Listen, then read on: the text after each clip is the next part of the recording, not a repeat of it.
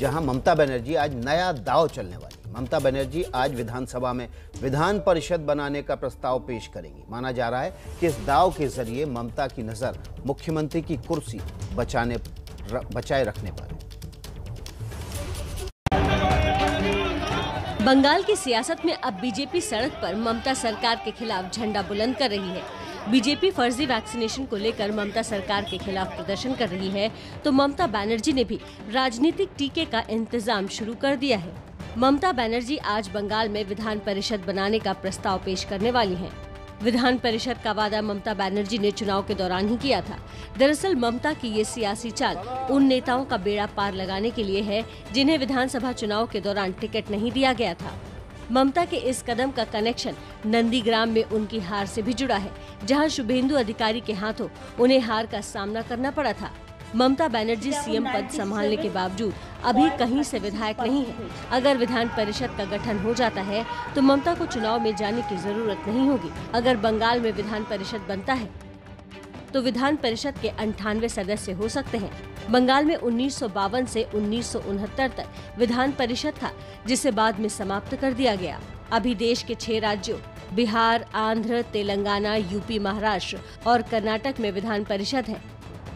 ममता के इस फैसले पर भी सियासत तेज होने के पूरे आसार हैं। लेफ़्ट पार्टी ने ममता के इस कदम का विरोध किया है।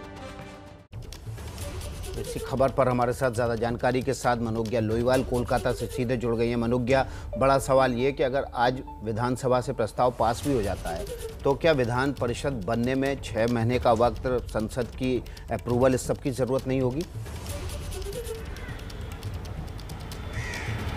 बिल्कुल होगी और वही सबसे बड़ा रोड़ा है विकास। अगर मैं ये कहूँ कि दिल्ली जाने का रास्ता अभी दिल्ली के लिए कम से कम विधान परिषद बनना दिल्ली बहुत दूर होगा।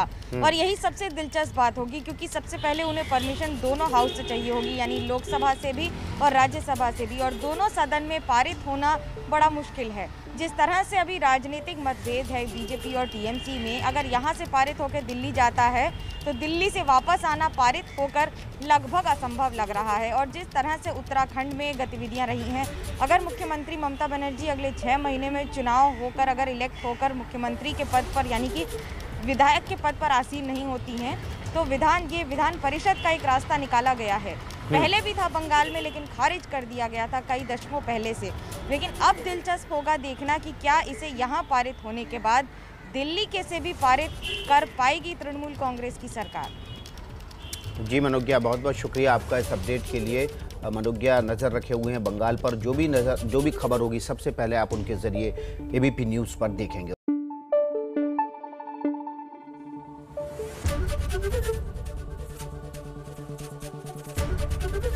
ABP news.